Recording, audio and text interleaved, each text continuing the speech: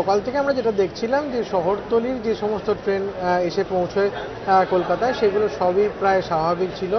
দুটো শাখায় কিছুটা বিঘ্নিত হয় ট্রেন চলাচল, একটা ডায়মন্ড হারবার আর একটা হাসনাবাদ।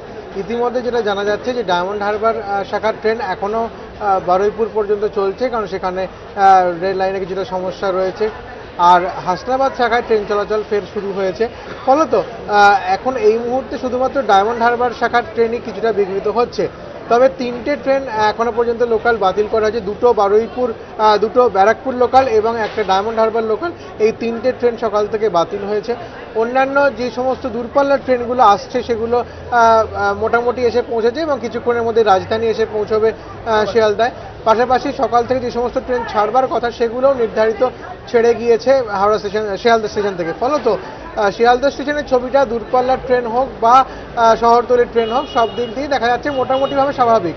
তবে অবশ্যই বলতে হয় যে অন্যান্য দিন শিয়ালদা স্টেশন এরকম একটা সকালের ব্যস্ত সময় যতটা জনাকীর্ণ থাকে, আজ কিন্তু ছবিটা অনেকটাই ফিকে বলা যেতে পারে। লোক সংখ্যা অনেকটাই কম। যারা আসছেন, ট্রেন যদিও চলাচল করছে, কিন্তু ট্রেনের যাত্রীর সংখ্যা অনেকটাই কম। তাই সকালবেলা একেবারে ভরা অফিস টাইম বলা যেতে পারে। সকাল দশটা বাজে। এখনও পর্যন্ত ট্রেনগুলো যে আসছে, তাতে যাত্রীর সংখ্যা বেশ কিছুটা কম রয়েছে। সকালের দিকে আমরা অনেকেই দেখেছি যাত্রীদেরকে যারা বেলার দিকে অফিস রয়েছে, কিন্তু তাড়াতাড়ি চলে এসেছেন যাতে কোনো রকম ঝামেলায় পড়তে না হয়। সেরকম যাত্রী যেরকম প্রচুর এসছেন সকালের দিকে, পাশাপাশি আরেকটা বিষয় যে শিয়ালদা স্টেশনে নামার পর শহরে ঢুকবার জন্য অন্যান্য যে পরিবহন, অর্থাৎ বাস, ট্রাম ট্যাক্সি সেগুলোর ক্ষেত্রে আমরা দেখতে পাচ্ছি যে সরকারি বাস শিয়ালদা স্টেশন থেকে যথেষ্ট চলছে, ট্রাম চলাচল করছে।